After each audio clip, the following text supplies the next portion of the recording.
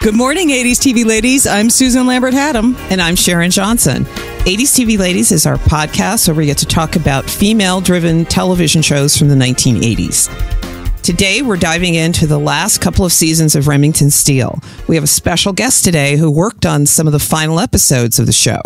And if you don't know by now, Remington Steele starred Stephanie Zimbalist, Pierce Brosnan, and Doris Roberts. It ran from 1982 to 1987 on NBC.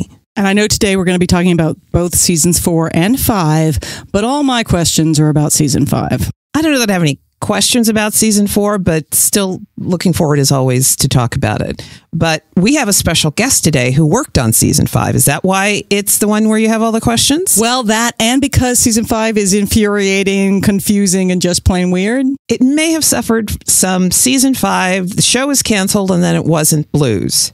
It may have. Before we get started with season four, just to recap, at the end of season three, Remington Steele takes off because of immigration issues, state license issues, and Laura Holt has said things were easier without him. So he disappears to the UK. And then in season four, we pick up with Laura and Mildred showing up in the UK to find him, and they do in the first two episodes. Then they all reconcile, and Laura spills the beans to Mildred on the Remington Steele secret truth. So Mildred now knows that the man she knew as Remington Steele is not Remington Steele. By the end of season four, Laura and Steele have a fake marriage to keep him in the country. A lot of the fans were both excited and unexcited by that, but it was the end of it was the end of the series. At that point, then the show is canceled, and they think it's over. Season four, just to, to concentrate a little bit on stuff that I really found a challenge in season four, is some some of the episodes felt like, oh, oh, here's the wrestling episode, right? You know, um, but also Laura Holt really is, and and Stephanie Zimbalist is doing a beautiful job, but she Laura Holt keeps sort of having to insert herself and assert herself into her own show, is what it felt like to me. That it was a lot of the the Pierce Brosnan show. Again, hard to fault the appeal of him, but uh, it becomes the struggle of the show. The struggle of the show becomes not them working together, but him dealing with his immigration issues and him struggling to kind of win her over and him doing this, and then Laura being mad at him for it. and then Laura basically going, no, but it's my agency, you know, and it's my this. And so it felt more like she was sort of always on the defensive in, in season four a lot. Um, even though it started, I thought, pretty well when she shows up and it's like, okay, I, I'm, I'm coming to get you because you're an idiot for running away. I wonder to what degree some of that had to do with the fact that television and certainly Remington Steele was more episodic at that time.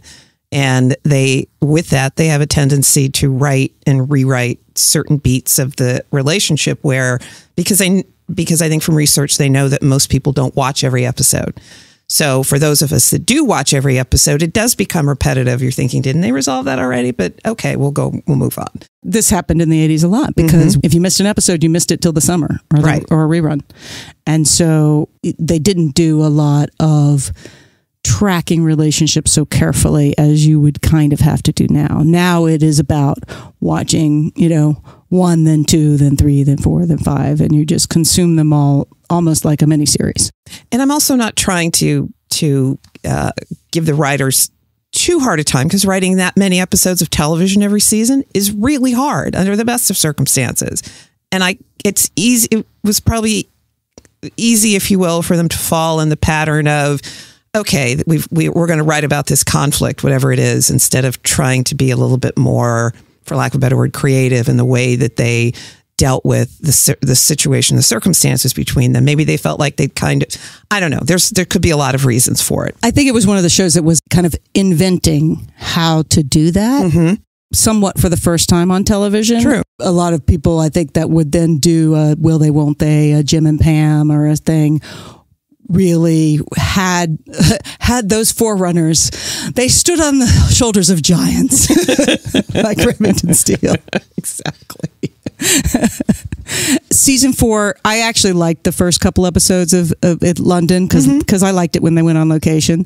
But I also, there's an episode, Forged Steele, episode five, where Remington suffers a memory loss, and it turns out apparently he uh, he lost the agency in a poker game, and I just thought that was actually very clever. It, you know, it it. uh, it becomes a case, and I thought it was a pretty clever case. I loved when Louie Anderson came on and guest starred. I thought he was really just adorable, and that was for uh, Steele Spawning, episode twelve. Um, they had to chase down some missing, you know, Russian caviar, as you do for the uh, American caviar czar.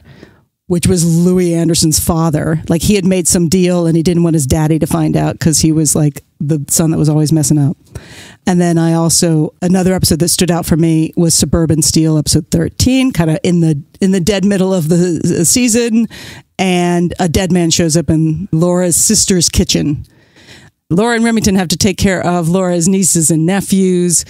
And I think there are direct nods in that episode to Scarecrow and Mrs. King because Laura's sister's car is basically the same station wagon as Mrs. King drove. One of the ones that stand out for me that season is Coffee, Tea, or Steele, which is set on a luxury airline. And to be honest, I think it it stood out for me more because of the depiction of air travel as being this potentially this this luxurious experience where you have stewardesses as they call them at the time walking around with trays of drinks and all the space up in the the the so first class or wherever this these people were sitting and you know chairs. And I it I had frankly never experienced that. And it certainly isn't the case these days that you would see something like that on a plane. So Yes, it felt like a cruise ship. yes exactly Yeah, I like that uh, episode because also in that episode is you know again Laura goes undercover as an airline stewardess and is and is treated poorly because of it uh, as a woman. Um, also, Terry O'Quinn guest stars on that from That's Lost. right. So at the end of season four, the series is canceled. Looks like Pierce Brosnan is gonna is gonna be cast as, as James Bond, and Stephanie Zimbalist actually is cast opposite Peter Weller in RoboCop. But summer repeats happen. Remington Steele ratings go up, and they reboot the show, and they call everybody. Get we need our everybody back, and they had shut everything down. So they call everybody back. Stephanie doesn't get to do RoboCop. Pierce Brosnan has to wait to do James Bond. He does that crazy People magazine uh, cover where he's like, "I hate them." pretty much and we come back for basically three TV movies, sort of six episodes or three TV movies. We're still not sure. They have a bad honeymoon in Mexico meets romancing the stone kind of episodes. They introduce a romantic rival for Remington Steele to try and make a love triangle happen. Uh, Jack Scalia. Uh, we'll talk about him in a minute. And it's still all about the immigration. So Remington goes back to LA and then has to go back to London and then finds out he inherited a castle with a lot of debt and then suddenly we're in Scotland and then suddenly we're wrapping up the show. But at least they bring Daniel Chalmers back, Efrem Zimbalist Jr., which I thought was quite lovely. And then they kind of wrap up Remington Laura pretty well. It's kind of nice. And also, it's very clear that season five is about him. It's really not about Laura. It's all about him. And the season, I mean, the series is really tipped from being initially about her to being about them, and now it's all about him and his the everything that's going on is revolves around him, and she's just sort of there. Well, and then and then they introduce a guy character and Mildred has nothing to do. But even what they do with the guy character is first he starts out as one thing, and then suddenly he's something else, and then he's suddenly something else again, and it's very confusing and don't really care because uh, they're not at all consistent with what he or who he's supposed to be, which I just found a waste of time at the end of the day. As much as I like Jack Scalia from that time, so you know, Yes. But you know who could answer maybe some of these questions? Not all of them. And he's not responsible for any of the writing of this season or any of the conceptual stuff. But I want to introduce our guest, Jerram Swartz, who worked on some of the final episodes of Remington Steele. We've known each other for years, he and I, since he worked with my husband Richard Hatem on an incredible miniseries called The Lost Room in 2006, starring Peter Krause, Julianna Margulies, Dennis Christopher, Peter Jacobson, and Elle Fanning. It is a beautiful, underrated, not many people know about it miniseries that everyone should see. The Lost Room. Jerram is an assistant director and production manager with over 100 credits that include E.T., The Extraterrestrial, The Blues Brothers, and The Walking Dead. He has filmed on locations throughout the U.S. and Europe. Jerram left the glamour of 16 hour workdays for the comparative sanity of the life of an analyst at the California Film Commission. He is also an occasional lecturer and producer, director, lyricist for seven seasons of the Pasadena Follies. So, welcome to the show, Jerram. How are you? Fantastic. Thank you. Oh, I'm so excited to have you on. Jerram, tell us a little bit more about yourself. I mean, we, of course, we have your bio, but how did you get into movies and television in the first place? I took a class in college about uh, movies. I went to a college in England called Sussex University, Ooh. and uh, the, the assignment was to write a screenplay. And so I did that. And they said, okay, now go produce it. It's like humana, humana, humana. And so we built our own lights and we took our 16 millimeter film camera and pushed it three stops. So the, I mean, we just invented it with some guys from school and we had little green screen, little things, and it was terrible, but that was fun. And when I graduated, I came to America and got into the Universal Studios mailroom. And there I started delivering mail to people whose names are now on the buildings, the Alfred Hitchcocks and the Verna Fields and the people like that, the Lou Wassermans. Wow. And um, from that, I found out about a thing called the Assistant Director's Training Program. And I went down to USC one morning and took the test, and I did not get in. And then the next year, I went down to USC and got in. And the rest is history. I've done that for years and years and years and years That's amazing. That's through the Directors Guild. through the Directors Guild. Yes. And they still have that program, yes? They do. Okay. All right. Let's just, you know, cut to the chase of how you ended up on uh, season five of Remington Steele. you know, the life as an assistant director. When I started, if you worked at Universal Studios, they would put you on show after show after show, and you just stay at the studio. But uh, Sharon Gless and I presided over the very end of the studio system. I think she was actually the last contract player in Hollywood. She was. I just read that. For both of us, it was the end of the studio system, which meant that uh, once I was through the training program, I had to find my own work. And that meant going from place to place, studio to studio, independent to independent, depending on who liked you, who didn't like you. Uh, and eventually, over 40 years, it became who died and didn't die. But so from time to time, I would find myself working at CBS Radford on shows. And uh, uh, what was different then is that the people who hired the assistant director in television were basically the producers and the the uh, oh I can't think of the guy oh Abby Singer was there at that time Oh, okay. is that a name that It Means is- anything to you is- guys? it is familiar to me. he was Abby Singer is the man after whom the shot the Abby Singer was named may I Yes, please about that? explain the Abby Singer shot. this is something as an assistant director you learned very quickly you had to announce when you're on the next to last shot of the day we're on the Abby Singer Ah, And the reason for that was back in when I knew Abby, he was in his 80s, 70s or 80s. Way back in the day, probably the 50s or 60s, he was an assistant director. And he was famous for saying, okay, this is the last shot. Okay, this is the last shot. He never actually got the last shot correct. so the next to the last shot is historically the Abby Singer. So when you know that you have two shots left, you make the announcement to the crew. It is crazy because I guess I assumed that Abby Singer was an actual person, but I didn't never actually knew that anybody knew Abby Singer. He was a total sweetie pie. oh, that's great. Uh, there's actually one other old soul that I'd like to do a commercial for because his name is largely forgotten at this point, and that is Wally Worsley Jr. And when I was a trainee, when I was a young pup at Universal, he was an old dog there. He was the, and I, I worked with him. I knew him when I was in the mailroom, and then later I worked with him uh, on ET. He was the production manager on ET the Extraterrestrial. He had been the prop man on Wizard of Oz Come on. he and his dad, Wally Worsley Sr., had been the director of the original Lon Chaney uh, Hunchback of Notre Dame. wow. So That is pretty amazing. So you you started when like old Hollywood was still around, but the end, the end of it, Yeah. the end of the studio system. Yeah. Like like you said, and uh, Sharon Gless talks about that in her book. I, I did have a camera assistant say to me on a, on a movie, he said, Are you the same Jerram Swartz that was working in the 70s? and it's like, okay, I'm going to have to kill you. I think most people like me are familiar with the studio system as it applied to actors and actresses, but not as much to the production crew. That that was something similar in that regard. So that's really interesting that that was also part of the system. And really, when I started, everybody was everybody looked like they were in their fifties and sixties, and they were all white guys, and they all smoked. And coffee at craft service cost a nickel or a dime or something. You had You had to pay for coffee you at had craft to pay service. for coffee at craft service, and it was very crude. It was very crude. Um, so you asked me how I got onto Remington Steele. Remington Steele, and it was really just one of those calls. I've worked. Uh, I guess was Derek Kavanaugh on it? No, I don't think so. It's just one of the guys at CBS called me, and uh, sure, you know, I went in and I met the director, who's a guy named Chris Hip, Christopher Hibler, who came from a uh, a line that was well regarded at Disney in particular. His dad was oh, he had a cool first name. Do you remember? Oh no, I don't remember anything at Disney. Okay.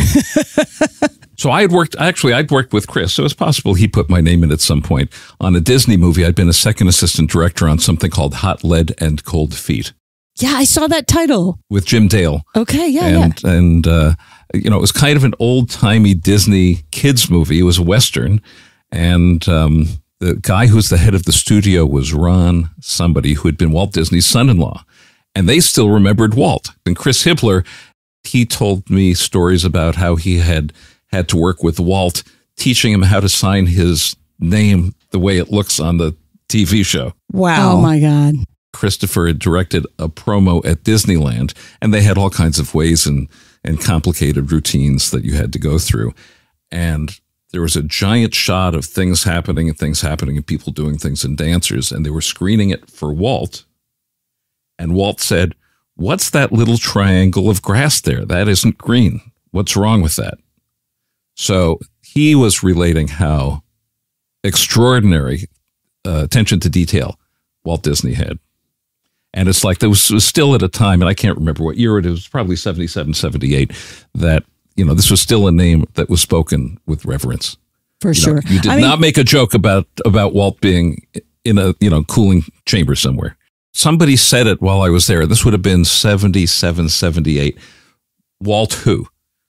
no that somebody way. actually said, you know, that's not the way Walt would have said it, done it, or done it. And somebody said Walt who, and it's like everybody's everybody went nuts. Yeah. No. That, yeah, I think you'd get in trouble for doing that now. So when you joined um, the crew of Remington Steele, I would imagine that the the crew was maybe half folks that had worked on the show before. To what degree were there people who had worked on the show before it was canceled? And They were all new to me, and I mean, it wasn't clear about anything. I can't. Uh, here's the thing that I remember about it. First, I get to go to Ireland. Well, I have my wife and I have my new baby. Kate is six months old. Oh my God, Kate was six. So what I'd like to do, months I old. asked them. Hold on, I- hold on. I just have to Yeah. picture that for a minute because I know Kate. Okay, go. what I'd like to do is I'd like to take the first class ticket that you give me as an assistant director, as a member of the guild, and change it into two, you know, steerage tickets. You know, there we were with this little six month old baby. And she'd already been on location. When she was six weeks old, we went to Texas to do a movie, uh, Adam, the, the sequel to the movie Adam. Oh, okay, And yeah. in fact, she has an appearance in TV Guide being held by JoBeth Wil- Williams in the ad art oh, that's so funny. because they'd had a little baby there. So she was there and she was, so this was her second location. And uh, so what I remember was the excitement of going someplace fantastic. And we hadn't been to Dublin before. I had been as a student, but Debbie and obviously Kate had not. Um, but we started off filming in town.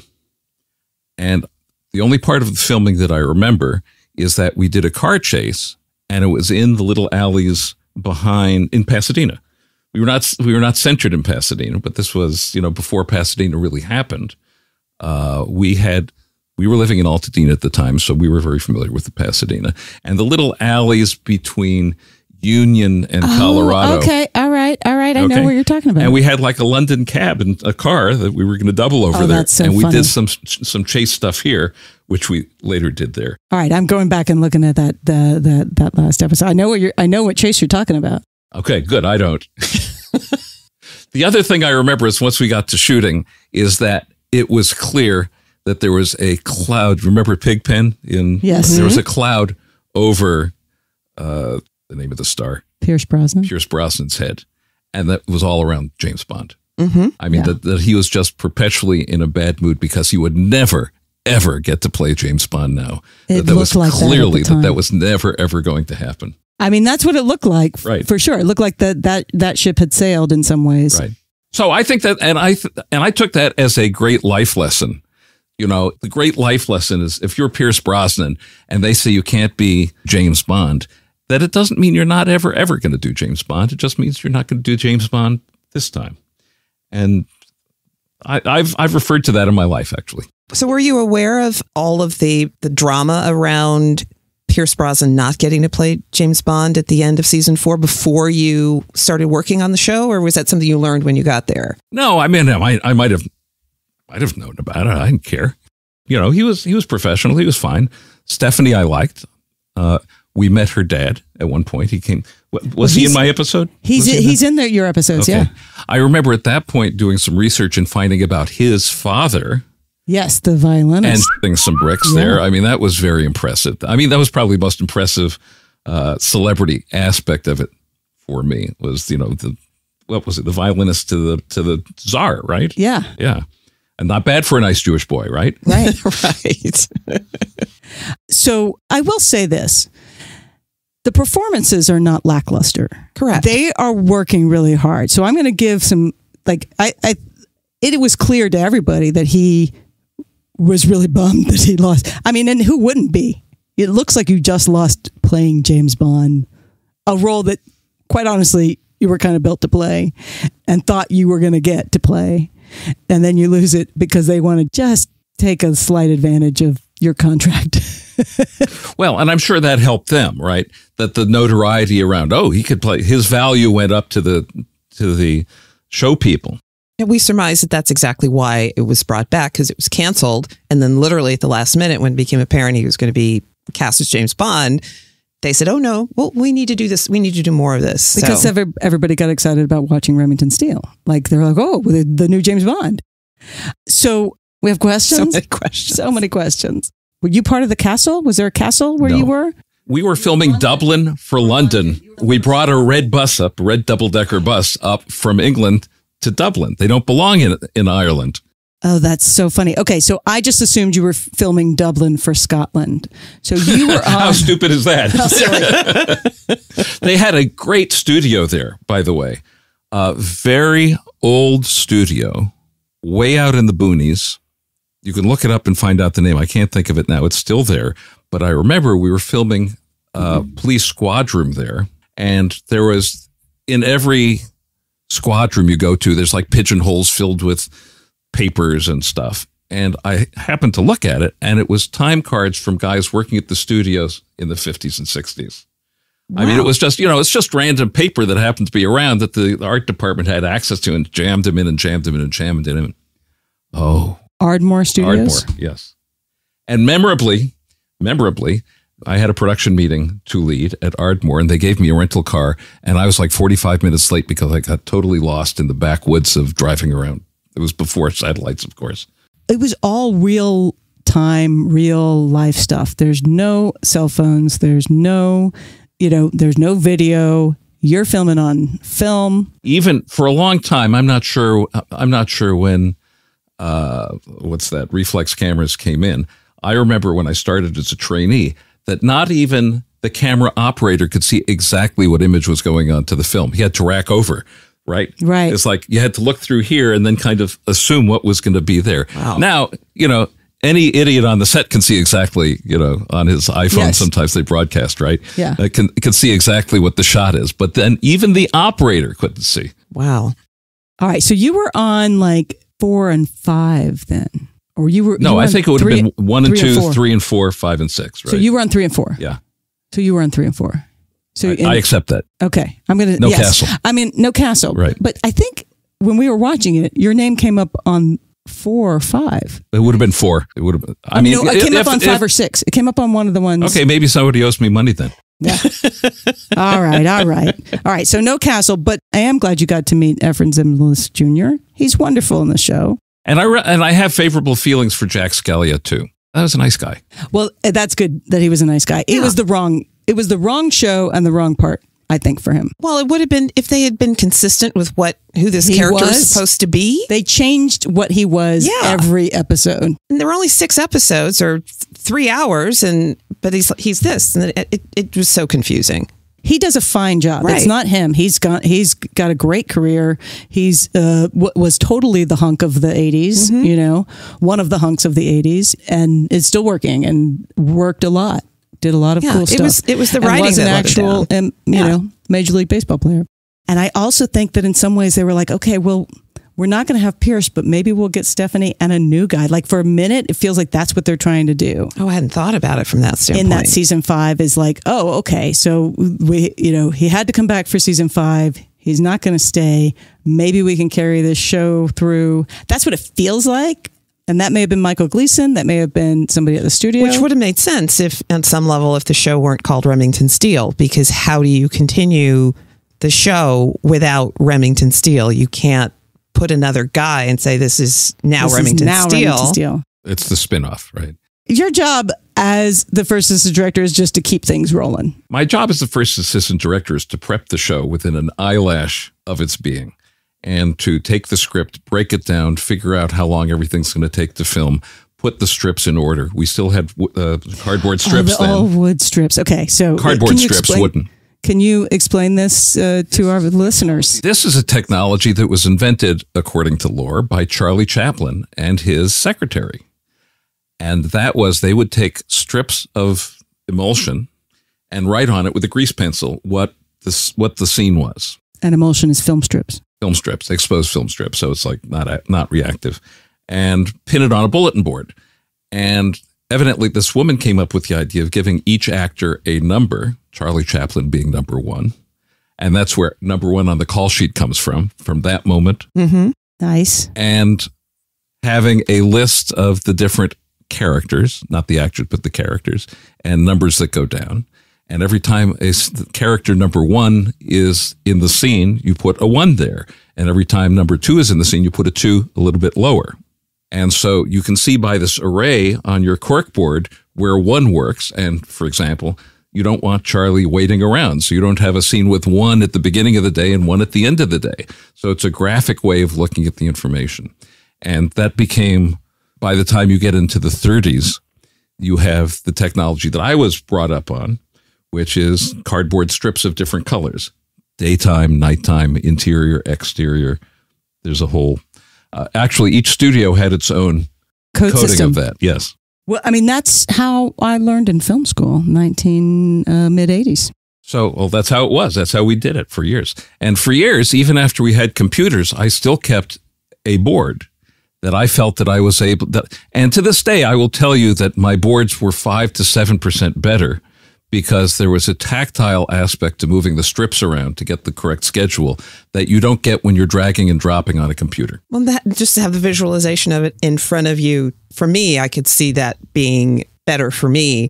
But what you can't do on a computer is you can't get the whole movie in front of you. Yeah, that's what that, I think. That's what I mean. To see the whole picture of what's happening. And to have to walk to the end of the movie and pick strips and bring them to the front of the movie. Yes. Uh, Yes. so it, it- it is different. And I, I remember some big movies we worked on had multiple boards, had boards that, you know, stretched run. And, and I worked with a director who said that the, and what would happen is every time you, you have a list of strips that are going to be your day's work followed by a black strip. It says, okay, everything before that is this day, Thursday, day seven, right?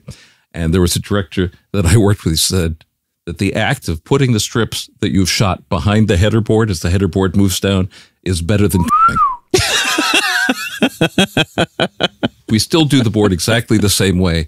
Uh, movie magic is really kind of the go-to technology. Other people have other people have tried to come up with things. It really is the standard. It's a very effective way of manipulating uh, information and being able to print out vast amounts of incorrect information very quickly.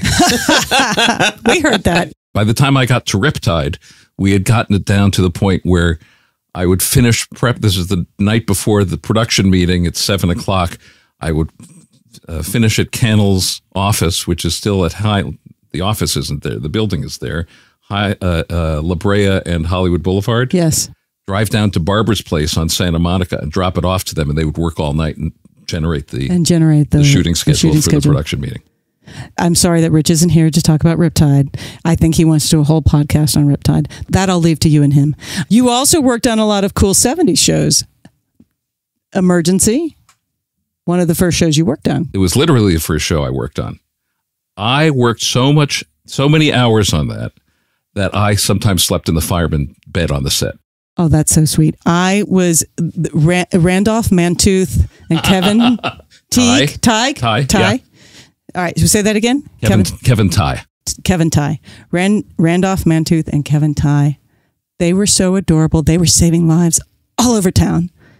Julie London, Julie London. uh, who's the band leader that uh, That I don't know. with white hair. No, no, he was also in the show. Oh, I don't know. Uh, and Robert Fuller, Okay. Randy Mantooth. It was so funny. He was like he was like this idol, right? He, was, like this He teen. was the this, sexy one. yeah, nice guys. They were really nice. And Kevin was more of an intellectual, so I, I had a nice rapport with him. And he did a lot of movies for, like he was in Six Man Out. Oh, he's he's done a ton Up. of stuff. no, no, He's- really.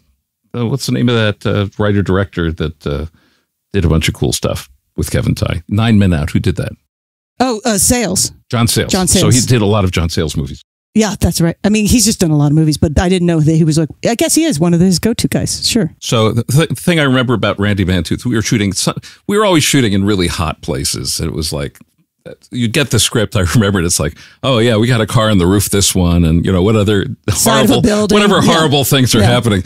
But I remember we were, sh- we were shooting way out by Magic Mountain. In those days, it took a long time to get to Magic Mountain, right? And and it was a, million degrees. And he invited me into his trailer, and he offered me a an ice cold Vernors Diet ginger ale, and I'd never had it before, and that was like his thing that he loved, and he was very generous in sharing that with me. Was Bobby Troup the Bobby Troup, you thank you. Yes, Oh, yes, he was a big okay. deal band leader. He was a big, was a big big- deal. Big big deal. Yeah, and Julie London was a great singer. Well, Emergency was like the first time I was like, oh, that's what Los Angeles looks like because it was set in L.A.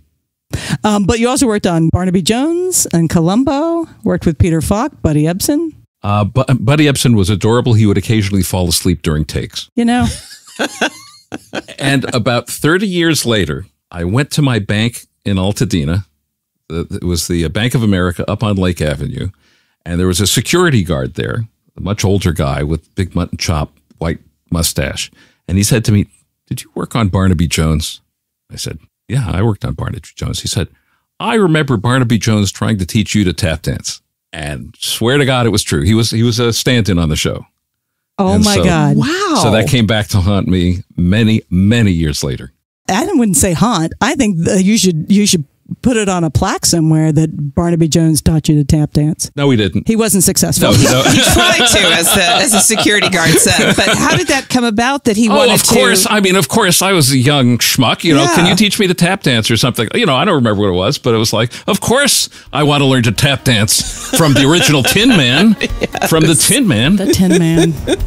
We're going to take a little break. We're going to come back. We're going to ask uh, some more questions of Jerram and his life in the 80s on television and movies. Life in the 80s.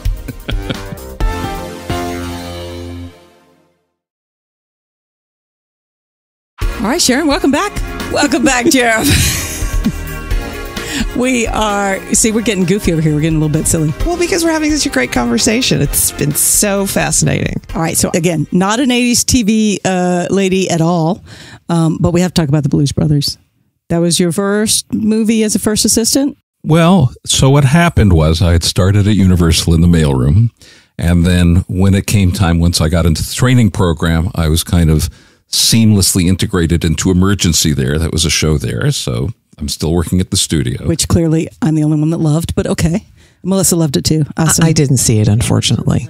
Yes, Julie London. I worked on a couple of features there. Start the first one was Swashbuckler. Ooh. Ever anybody ever hear of No. that? That was a pirate movie before pirate movies were successful. After they were successful and before they were successful. Yes. With Robert Shaw and James Earl Jones and Jean-Pierre Bujold. I'm trying to figure out how I never knew about Swashbuckler, considering the cast, because wow, I'm going to have to find Yeah. it and watch it. So James Earl Jones was the nicest guy in the world. And Jean-Pierre Bujold was so hot. She was great. All right. Well, okay. Now we got to go all watch uh, Swashbuckler. exactly. And Robert Shaw was a drunk jerk. And at one point, we were standing next to each other, and he was he was super intellectual, really smart. He wrote a bunch of plays. He wrote The Man in the Glass Booth. Oh yeah. Okay. All right. You know, he was he was very much into the bottle at that point. This was before The Sting, but after Jaws. All right. So Yes, it was after Jaws. Seven. No, but but the can- Sting the was, Sting was 73, Four? 74. Oh, then I guess maybe it was after the sting. We were down in Mexico, and uh, and he's standing there in his little red pirate outfit, and we're watching James Earl Jones do a thing, and suddenly he hits me in the ribs. He just goes like whap, and he takes my breath away. And I look at him, and he says to me, "And there's nothing you can do about it." Are you serious? I am serious. wow. So I got custody of the story. You got custody. Of the story. So here we story. are, and I'm not ashamed. I'm not ashamed to say that. I came back to Universal, and they hired me actually. Wally Worsley and some of the other guys. They hired me for a couple of months to wander around, poke my nose around, and write the manual of Universal Studios. And this is this department, and this is who's here, and thing like that. And they took out all my jokes and all my quotes and all my cartoons and things, and they made it corporate policy for seven years. So that was a nice gig. And then they promoted me to first assistant director, and I was working on a show called Buck Rogers in the 25th Century. Oh, wow. Also, one of my favorites from from uh, childhood. Bitty, bitty, bitty. This was 1979. Universal at that point was still like a college campus, and everybody kind of knew each other, and you'd visit each other's sets, and you'd see people uh, at the commissary, and kind of, you know, there was it was like uh, it was like a collegial sort of organization, and people started disappearing. It was like one by one, people were disappearing, and it's like, oh, what happened to Fran? Oh, well, she's in Chicago. Oh, what happened to uh, they sent him to Chicago. And what was happening is they were prepping this movie called The Blues Brothers there, which was just getting bigger and bigger and bigger and bigger. And they were expanding the number of people they needed to work on it. And sure enough, I got this call, Jeremy, you're going to You're Chicago. going to Chicago. So I was a freshly minted first AD. I had been a first on one or two episodes of Buck Rogers, and they were quick to tell me, we don't want you to go and run the set. There's a guy, David Sosna, who's been prepping with John Landis for months. He's going to run the set. David, by the way, is to my mind like the best in the business. This, the, the work he did on Blues Brothers is second to none. But we need help coordinating stuntmen coming in and out, bluesmobiles, this security at the mall, things like, you know, they couldn't even enumerate what they needed. We just want to send you there.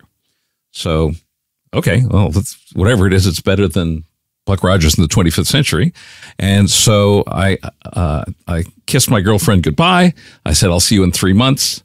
A week later, I sent her a ticket. We've been together ever since 1979. That's my wife. you just take her to all the best sets. Well, that's right. I mean, but this is obviously before 1986. So that was Yes. the first one I took Yes. her to. And so we will always have Chicago as kind of a romantic, you know, this isn't necessarily what you wanted to know about. I'm loving No, this. this is awesome. this is fantastic. I will tell you one story from that, and that is uh, there is a scene in Blues Brothers at the mall. You familiar with Yes. the Yeah. Oh? I am familiar with. Can you tell me what the first shot, the first interior shot is after the cars have been racing around? All right. I guess I spoke too they soon. crash through the They wall going through into the mall yeah. and they come into a toy store and so we had a toy store set in the in the mall and we put a fake wall there and the, ran the, the car through and it burst through and knocked over every shelf in the thing and knocked all the toys off the shelves and you know when the dust cleared everybody okay everybody's okay uh, john landis pulled took picked up a kermit doll kermit the frog doll that had fallen over here and wired it to the front bumper of the bluesmobile Okay. and you can't see it. I've looked frame by frame. I've tried to see it in the thing. Um, and then we shot for a week there, complete mayhem. I don't think you could do that scene today. Certainly not the way we did it, because we were all working in this interior thing, cars with exhaust, actual glass, not breakaway glass. I mean, how hazardous, how dangerous by today's standards. Back then, it was like, oh yeah, we'll take one for the team. We're gonna, we're gonna, you know, it's gonna be fine. And by the way, John Landis would later go on in 1980, in 1982 to kill three people at, at the uh, at Indian Dunes on Twilight Zone. On Twilight Zone. And I'd be happy to come back and talk about that all day long with you. But what I will say is that if if um, David Sosna had been the first on Twilight Zone, it would not have happened. That he would have had the wherewithal to say, John, Let's stop the shot. Let's do this properly. We'll get the shot. It'll be where you want it to be, but we're not going to do it unsafely. So I just want to do that shot out. So anyway, at the end of the week of shooting, and the place was, uh, you know, trashed. Trashed. right. There was nothing there. I found the Kermit doll. And so I took that home, and that has become our icon for Debbie and me. The uh, every location I've been on, Poland, Italy, everywhere, Kermit's come with us. The portrait of our children has them holding Kermit, and it's just God. that really became a kind of an icon for us. Our first that's child. so That's sweet. wonderful. I love that story so much. Oh my gosh. My favorite thing about Blues Brothers is is its sweetness. Like it's it's got a lot of heart for a movie that's about you know, being it's about the music. It's, It's about, about the music. You know, and I tell you, Cab Calloway, I was, I was just, I met him. I was just could not have been more knocked out. That is fantastic. More than Aretha Franklin, more than anything. Now, I only did the Chicago portion. They came back and did an awful lot of it here, uh, which I was not on on payroll for, unfortunately. But I had a great time. We had three months there. and It was fantastic. it has a lot of that recklessness, revolutionary, like rawness of the 70s movies and television. And yet it also is the beginning of, okay, really, let's just do a, you know, 25 minute car chase and, and crash things. Well, uh, you know, I guess uh, what they had in the 70s for a brief shining moment is when they were letting auteurs do studio movies. Yes. They were letting right is that the, the the streams crossed, and you had the Chinatown, and you had the uh, Godfather. The You had right, and there, um, uh, Harold and Maude, and you know that that kind of group of things, and then it just became clear that that's not the movie that studios, that's not the business studios wanted to be in. Well, and again, it was also uh, Jaws and Star Wars that turned into everything into a blockbuster, right? Like, like suddenly that's the that's the business we want to be in. Yeah. And I love both those movies, but in some ways, their success marked the beginning of a blockbuster era that has never, ever, ever left us. I'm going to tell you my Jaws story, even though it's completely off the track. Okay, I, you, you've heard it, I think, but this is just but our viewers haven't. All those viewers out there. Okay, let me paint you a picture. That in 1974, we'd all been, uh, I was in the mailroom at, at Universal, and we were aware that there was this movie that they were shooting that was really in trouble. Uh, and it was Jaws. And there were a number of reasons that it was not shut down that are not particularly well known. One is that Marsh Green, who was the film executive, uh, his brother Hilton Green was the TV executive. They had both grown up as part of the Universal family. Their dad had been, Doug Green, had been Mary Pickford's director, right? They came by Okay, it yeah. honestly. So anyway, Marsh was out with a heart attack, and John Oster, who's the head of the budget department, was also out for health reasons for a particular amount of time. So it's, they were not, my perspectives, they were not getting the information uh, amalgamated correctly to shut down the movie. They would absolutely have shut down. So anyway, so Jaws is going on. We're aware that there have been issues with it, but you know, it's also there's the big shark. At at one point, we'd actually snuck out from the mailroom to see where the shark was being built, and we'd seen Bruce. And you know where he is now, right? He's in. He's at Universal. On the tram tour. Isn't that him? No, he is. Uh, you know something? There might be more than one Bruce, Okay. but I'm under the impression that the real Bruce, the shark, is hanging in the Academy Museum. Oh, Really? when you go up to the, the top floor, he is he is there in space there for you. So anyway, the movie is getting ready to open, and it's about a month before the movie opens. And I can't remember if they've had the Dallas screening where they got the idea. Oh yes, this might be a successful movie. But there's going to be a screening this Wednesday coming up, and I go to my friend Stan Musgrove because you know I've been schmoozing him for a year in the mailroom, and I say, "Can I get into this screening? Can you can you help me get into the screening on Wednesday?" He said, "Okay." I came back the next day. Okay, here's what you do. The screening's at eight o'clock. At a quarter to eight, you stand outside the main gate. A white limo will pull up. The back door will open. You get in, and you can go as Mae West's guest. hello. What? Hold on. We're sitting up. Go. For your listeners, Mae West was the first Madonna. I don't know. Even Madonna is probably dated now. Who would, Yeah. who- uh, the Lady Gaga? Before there was Lady Gaga, there was There was there was Mae West. And then before there was Madonna, there was Marilyn Monroe. And before Marilyn Monroe, there was Mae West. Mae West was a creator. She was a playwright. She was mm-hmm. she was much more was than Marilyn more. Monroe, right? And she was arrested, and she had a play on Broadway called Sex. I mean, she was really she was the real thing. Okay. In 1974, she's 83 years old. She is still making movies. She was in a movie called Sextet that Sextet that very year, and I, you know, I can't believe it. Yes, I will go. That, that I'm absolutely going to do that. So there it is, quarter to eight. I'm there. The car pulls up, door opens, I get in, and there she is. Right? You are going Wow. to see Jaws Yes, in a white limo Yes. with Mae West. the shortest ride in the world in a white limo. Because they've already arrived at the studio. Okay. That's okay. And there's two or three other guys in addition to the driver. It's not a one on one date. You know, nothing, I don't expect anything's going to happen. But you're part of her entourage. I am You're part of the entourage. absolutely. I am probably the worst built guy there. Okay, and so we go into the Hitchcock Theater, bloop, right? Park, get out, walk in, and I'm sitting next to her, and we're a few minutes early, right? Waiting for the lights to go down, and she's starting to tell me some stories about the 1930s, how she discovered Cary Grant, how she had a an all white apartment, that she had a pet monkey, and he threw his feces all over the place right? And I am in hog heaven. This is the greatest thing. I mean, I I'm a big fan of the movies of the 20s and 30s, so I I'm well aware of who she is, and I am having such a great time. Then the lights come down. And none of us has ever seen Jaws before, right? We don't know. Right. Right. Everybody knows now that there's this poor stunt girl that goes out from the from the party and is going to get eaten immediately. Mae West has not finished. She is still telling me the story. Because once you start her at age 83, she finishes when she's ready to finish. And she has this arc. She has the whole thing down to a science. And no fucking shark is going to stop her from, telling relaying a story. her So it's like, Mae West, shut up. I'm trying to watch the movie. So that really, it just made my 21 year old head explode. It was like one of the greatest nights of all time. When you get into the limo, though, what does she say? Does she say anything to you, or does Uh, anybody? you know, it's hello, I'm Jerry. Uh, you know, I don't even remember. That part is not known to us. Now, my, That's one of the most amazing stories I've ever heard. So There, there's so many parts of that that are amazing. That's the best part. that's right. That's right. Shut up, Mae West.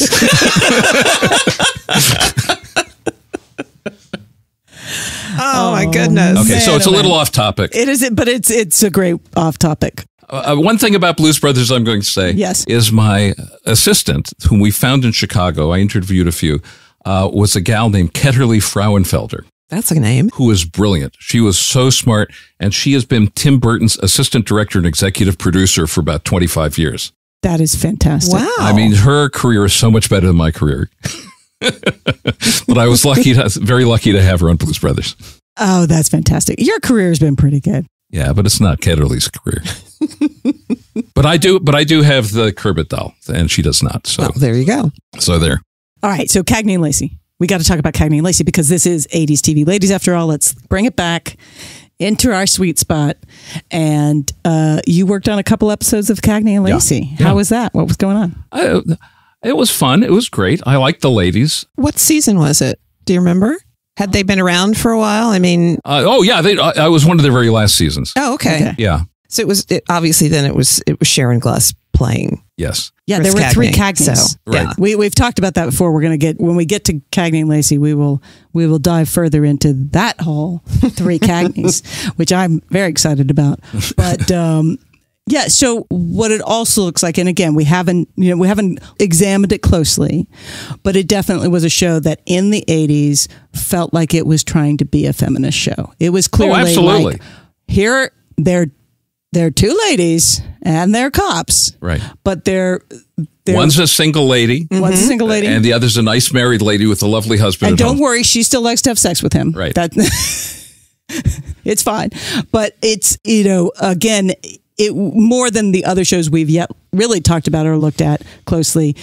This was a show that had an agenda and was also an issue show. Like it was like, you know, the the, you know, Hill Street Blues, the hospital shows. It was all Barney Rosenzweig. He was really the, the genius behind that. And so- and for every yeah. episode, what we would do is we would come, the director and I and production designer would sit in Barney's office, in his small office, kind of crowded around, and he would take us through the script beat by beat and explain to us exactly what the intention was. That was always very useful. And it was really the first show we're going to be talking about that is about the two female leads. It's their stories and they're the ones that are driving story without having the counterpart who is who is a man. Obviously there are men in the show, but the show is really about their It is, relationship. they are driving the story. Yeah. It is their journeys to their end, and and that female work friendship so particularly unique even now like there's not a lot that is that is focused on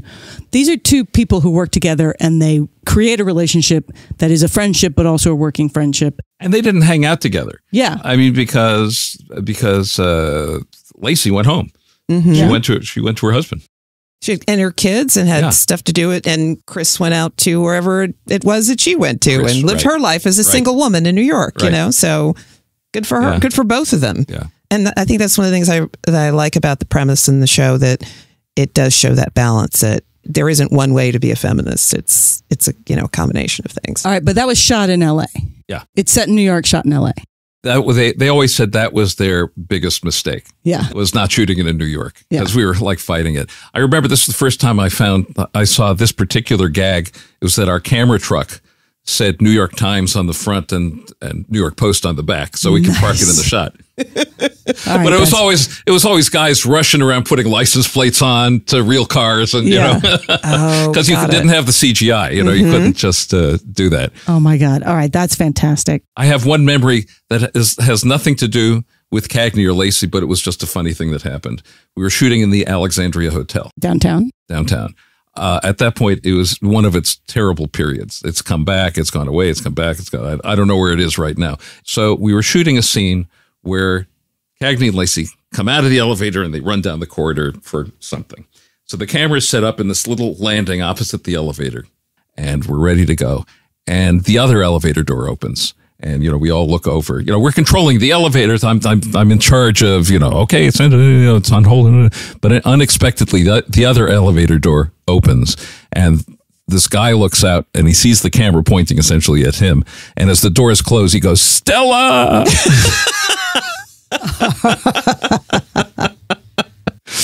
what was great about it, and of course the late episodes, was that uh, we were filming at this this lot on Lacy Street.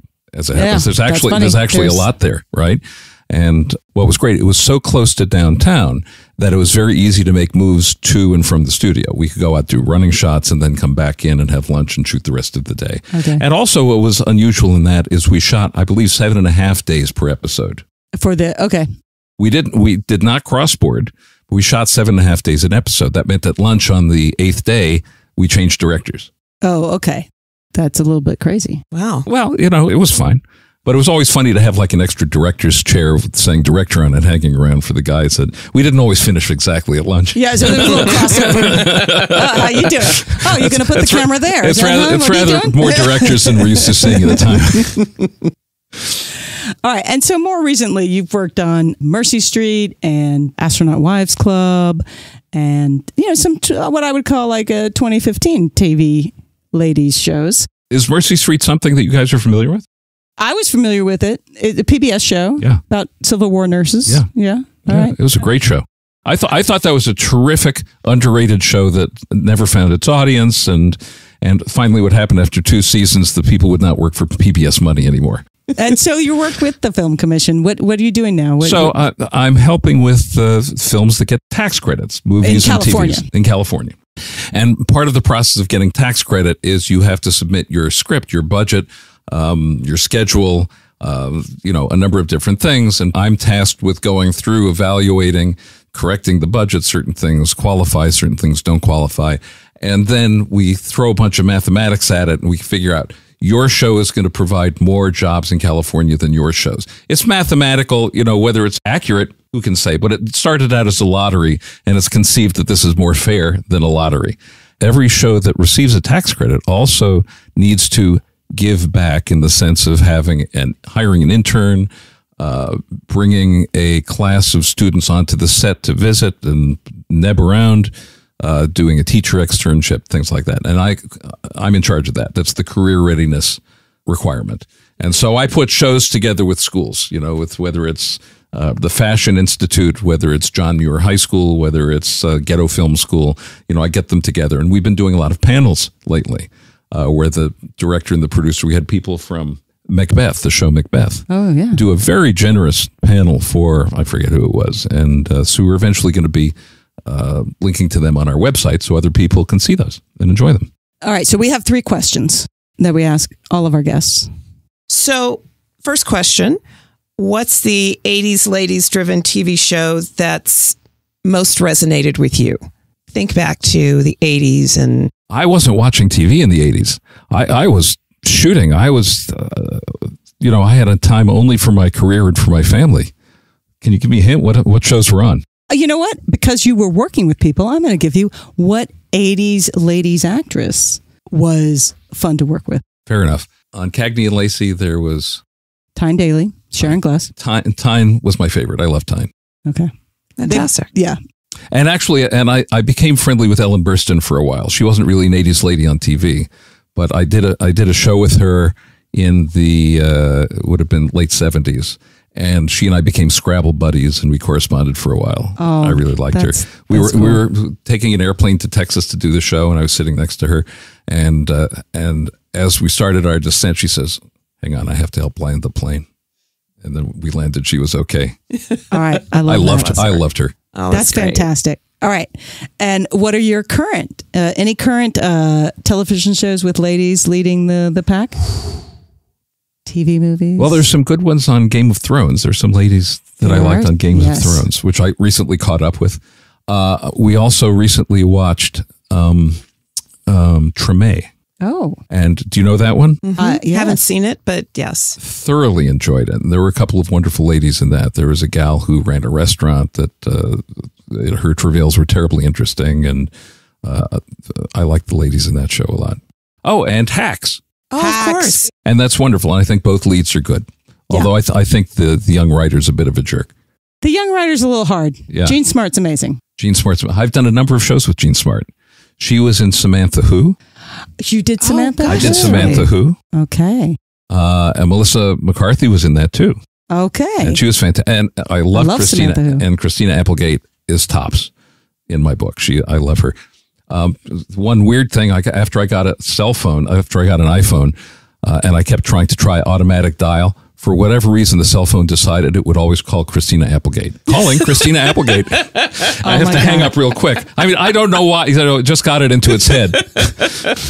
They do have a mind of their own sometimes. I, I loved her. She was just so much fun. I was a production manager on that. I wasn't on the set, so I wasn't really connected that closely to him. And we all thought Melissa McCarthy was fantastic. It's fantastic. The great cast. Great Yeah. cast on that, that yeah, show. that, that was a show that really was, I think, overlooked, unfortunately. Yeah, I mean, but it did it. It feels was like it ran for two- a while. I think No, only two seasons, yeah, maybe a little more. I think oh, two seasons, if that. I so, have the, yeah. I, I, in my mind, it was like three seasons. That third season was amazing. yeah, when we went to Ireland. Mm-hmm. going to Ireland is always the best. So, third question is what's the most action hero slash television moment you've experienced in real life? Okay, so we were doing a movie called The Thirteenth Year, a TV movie about for Disney about a kid that turns into a mer person. It was kind of it was kind of a, uh metaphor for adolescence, Mm-hmm.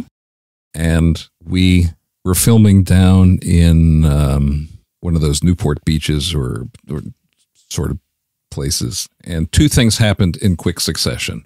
One was we were on some rocks or something overlooking the bay, and I walked out in front of the crew and I was holding the board in front of me to explain something. And I suddenly realized I was doing Moses, right? With my tablets in front of everybody. and then just as that happened, the location manager played a prank on me, which took me so by surprise, it made me think I was crazy. And that was there was a ferry going by, and this must have been 300 yards away. And everybody on the ferry suddenly went, Hello, Jerram. Oh my god! and it ju- it's just like it just you know I just I so those two things those two things happened at almost the same moment and so that was kind of weird Oh, that's Okay, that's a good one. That's a good one. Oh my god! It has been such a pleasure to have you on the show and hear all these stories. thank you very much I had a good time thank you so much, All Jared. right, thank you. Susan, what time is it? It's audiography time, Sharon. Woohoo! You can find out more about the Television Academy at Emmys.com. That's E M M Y S.com. They have really cool events, some of which are open to the public. And Jerram mentioned the Directors Guild of America DGA training program. And you can find out about that program and other director development programs through the Directors Guild at dga.org. And there will be links on our website to those resources. And if you want to watch Remington Steele on streaming, breaking news! All five seasons are currently available on Amazon Prime and Apple TV. We're not sure for how long all five seasons will be streaming, so go watch them while you can. And Sharon, I'm not saying that the last three seasons are now available because of 80s TV ladies and our fans, but ac- actually, that is what I'm saying because I'm telling you, when we started this podcast, only seasons one and two were legally available anywhere online. And now we've got them all. I think it's us and our fans. Thank you, 80s TV ladies fans. And a book I want to tell you about Backwards and in Heels by film reporter and critic Alicia Malone. This book highlights stories of specific women in film from Alice Guy Blaché to Ava DuVernay while exploring the past, present, and future of women working in film. It's really quite good, even though it's not just about TV ladies. Next time on 80s TV Ladies, the amazing, adorable, and ever surprising 90s TV babies will be back. Sarita, Megan, and Sergio were assigned three episodes of Remington Steele to watch, so we are looking forward to hearing the thoughts of the youths. If you're a Remington Steele fan, I'm curious what three episodes you would pick to represent the show to someone who has not watched it.